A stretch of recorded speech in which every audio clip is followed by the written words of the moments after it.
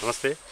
My name is uh, Raju Kharka. I am a this uh, plant general manager and I have a full responsibility to operation and maintenance this plant. Previously I worked uh, UAG, Swiss government organization.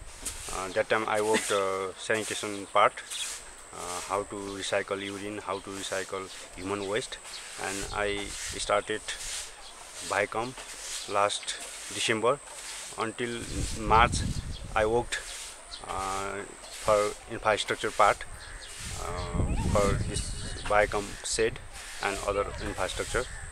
And especially I am a civil engineer background. I did a master's uh, sanitation engineering. And then especially when I came here we started March 24 to start composting. My job uh, uh, mostly overall operation and maintenance. I also have a responsible to human resource management, also finance, financial management, and also support our plant manager, and also support uh, technical part, how to compost and how to analyze uh, different kind of uh, nutrient, NPK, uh, uh, nitrogen, phosphorus, potassium. So overall, I can do my job inside plant and some administration part.